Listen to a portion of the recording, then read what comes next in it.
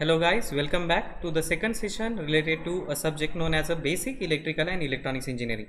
In first session, I introduce you with the concept of this particular subject and I introduce you what we are going to study and why to study this particular subject that is course outcome, course objective, different reference book, different textbooks associated with this particular subject that we studied in a first session.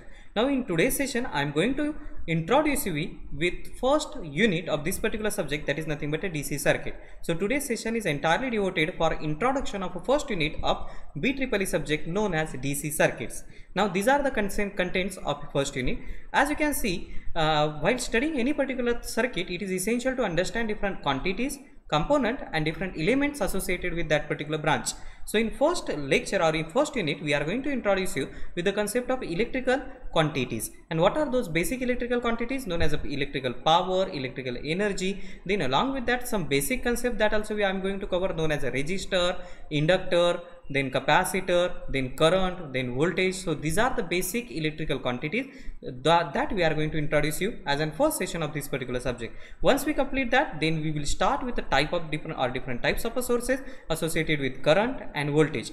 For example the independent power supply dependent power supply current volt voltage source then uh, uh, alternating current direct current then alternating current voltage supply uh, uh direct current voltage supply and so on then I'm going to introduce you some type of a basic fundamental circuit laws. So this will be the first lecture, this will be the second lecture and this will be the third lecture associated with this particular unit. Which are the different fundamental laws we are going to explore? We are going to explore a simple Ohm's law. Then along with that I'm going to uh, explain you once again a simple series and parallel combination of different resistors and how a Kirchhoff's law can be used for uh, detection of a current and voltage in a circuit at any particular loop or any particular junction that we are going to discuss in a third lecture.